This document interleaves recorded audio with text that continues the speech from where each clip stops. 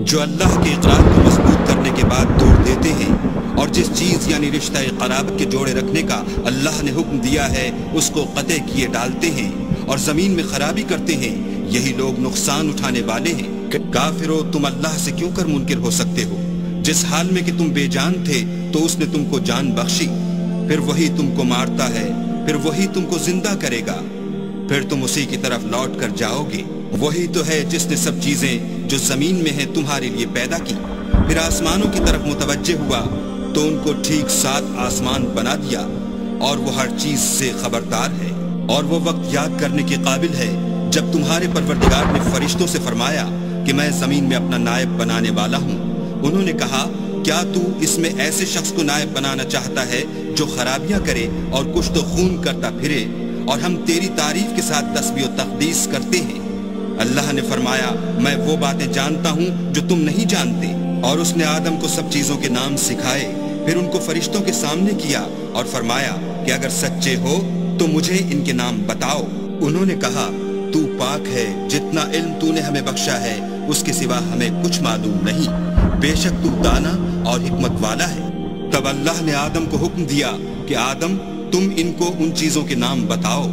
जब उन्होंने उनको उनके नाम बताए तो फरिश्तों से फरमाया, क्यों?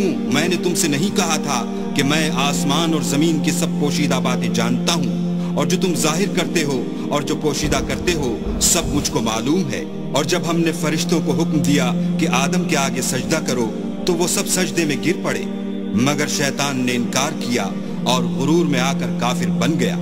और हमने कहा कि ए आदम, तुम और तुम्हारी बीवी बहिश्त में रहो और जहाँ से चाहो बेरोक टोक खाओ, पियो। लेकिन इस दरख्त के पास न जाना, नहीं तो जालिमों में दाखिल हो जाओगी। फिर शैतान ने दोनों को वहाँ से फुसला दिया और जिस ऐश निशात में थे, उससे उनको निकलवा दिया।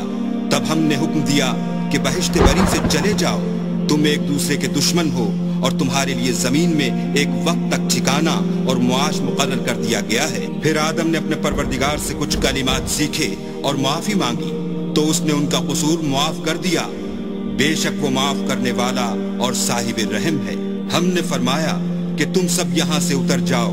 जब तुम्हारे पास मेरी तरफ़ से हिदायत पहुँचे तो उसकी पैरवी करना कि जिन्होंने मेरी हिदायत की पैरवी की, उनको न कुछ खौफ होगा और न वो गमनाक होंगे। कबूल न किया। और हमारी आयतों को झुटलाया, वो दोजख में जाने वाले हैं और वो हमेशा उसमें रहेंगे। ए आले याकूब, मेरे वो एहसान याद करो जो मैंने तुम पर किए थे और उस इकरार को पूरा करो जो तुमने मुझसे किया था।